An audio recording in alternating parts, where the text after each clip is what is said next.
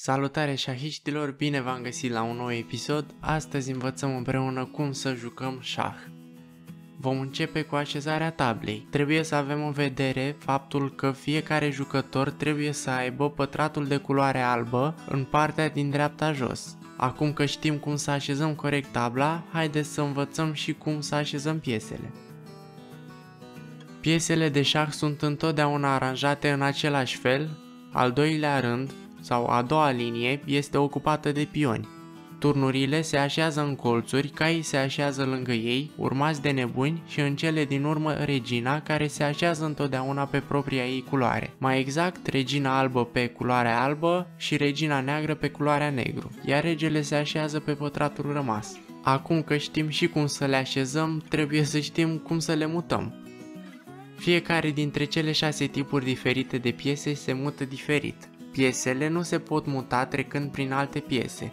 Totuși, doar calul face excepție de la această regulă, el poate sări peste alte piese. Ele pot fi mutate și pot lua locul unei alte piese de adversarului care este atunci capturată. Piesele se mută de obicei pe poziții din care pot captura alte piese, ajungând pe câmpul lor și înlocuindu-le, pot apăra propriile piese în situația unei capturi sau pot controla câmpuri importante din partidă. Haideți acum să luăm fiecare piesă în parte și să explic modul în care se mută. Regele este cea mai importantă piesă, dar este și una dintre cele mai slabe și asta pentru că poate muta doar un pătrat în orice direcție. Regele nu poate muta niciodată atunci când este în șah. Șahul apare atunci când regele este atacat de o piesă a adversarului. Regina este cea mai puternică piesă de pe tablă. Ea poate muta în linie dreaptă în orice direcție, înainte, înapoi, lateral sau diagonală, însă nu poate sări peste piese. În cazul în care regina capturează o piesă de adversarului, mutarea ei se oprește. Observați cum regina albă capturează regina neagră și apoi regele negru este forțat să mute deoarece este în șah.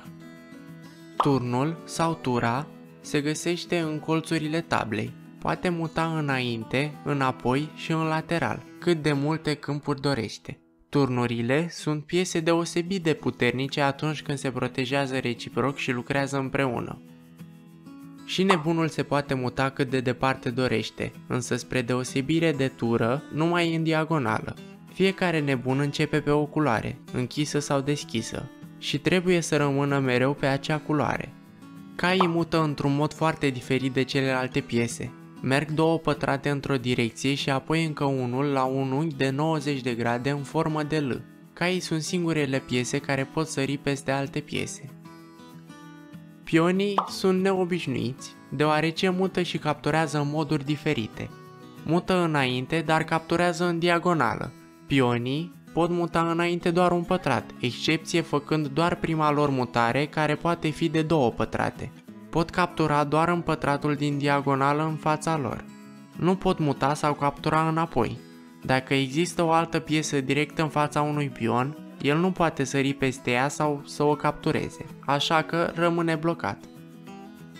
Scopul jocului este de a da mat regelui advers. Asta cred că știe toată lumea. Lucrul ăsta se întâmplă atunci când regele este pus în șah, dar nu poate scăpa. Există doar trei moduri în care regele poate ieși din șah. Mută afară din șah, blochează șahul cu o altă piesă sau capturează piesa amenințătoare. În cazul în care regele nu poate scăpa de mat, partida se încheie. De obicei, regele nu este capturat sau scos de pe tablă. Jocul este pur și simplu încheiat. Ocazional, partidele de șah nu au neapărat un câștigător fiind declarate remiză.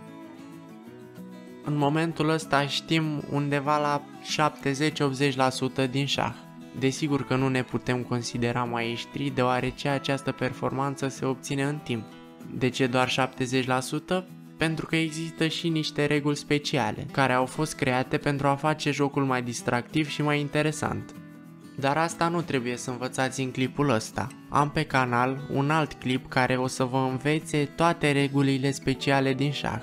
Îl găsiți și în descriere, vă invit să-l vizionați și pe acela.